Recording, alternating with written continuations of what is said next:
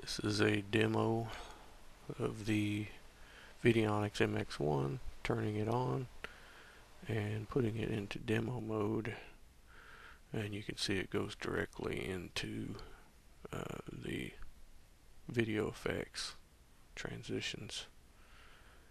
Um, any of the lines like that one that you're seeing go through the screen are not the MX1. Uh, for those of you who don't know, anytime you uh, point a camera at a old type TV, uh, cathode ray tube type TV, you will get those lines. Uh, that is not a malfunction of the MX1. Uh, the MX1 seems to be perfectly functioning. Uh, if you were here with me, you would not see those lines on the screen. Um, again, this is demo mode. Uh, you can see from the pictures in the auction that the unit is in very good condition.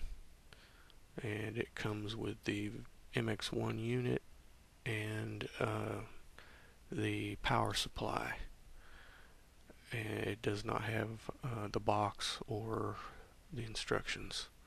Um, I will make the uh, instructions available by download link from the auction if some for some reason I forget that just remind me and I will make sure that you have a link uh, to those instructions and that is for the buyer of this unit.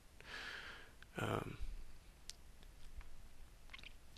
anyway that's uh, enough to show that it seems to be in perfect working condition and I'm gonna shut her down